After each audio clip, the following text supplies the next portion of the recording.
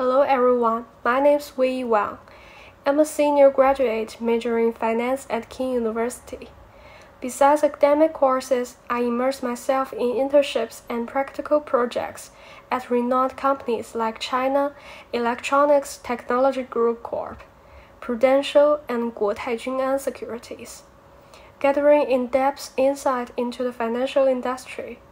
Based on my excellent leadership, I took charge of several group projects, delving deep into topics like corporate capital structure, market trends, and customer demands. I also led teams to perform excellently in entrepreneurship projects and other events such as Banking Elite Training Camp and the Umbrella Sharing Management Information System project. These experiences made me stand out by taking peers' insights and boosting a team to work towards a common goal.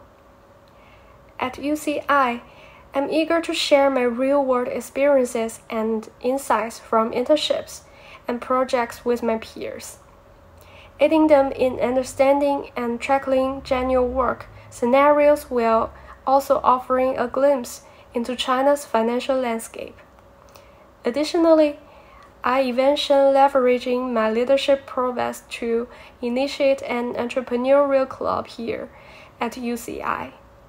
Where together we can brainstorm and research entrepreneurial pathways and strategies.